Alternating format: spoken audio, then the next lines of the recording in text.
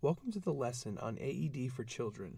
In this video, we will discuss AED use in children and go over step-by-step directions to use it.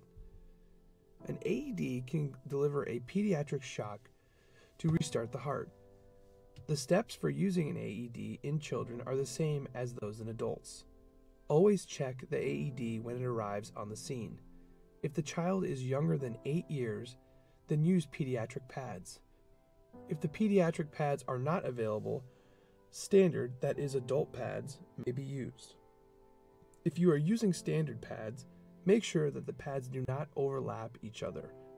If needed, put one of the pads on the child's back. Some AEDs have a switch that can be set to deliver a pediatric shock.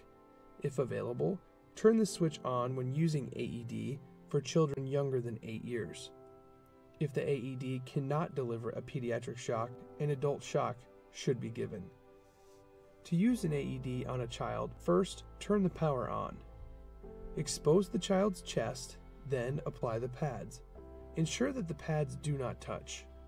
Connect the pads to the AED. Clear the child and analyze the rhythm. Follow the prompts on the AED. If the AED prompts for shock delivery, then clear the child again and press the shock button once. The AED has charged. After shock delivery, resume CPR starting with chest compressions.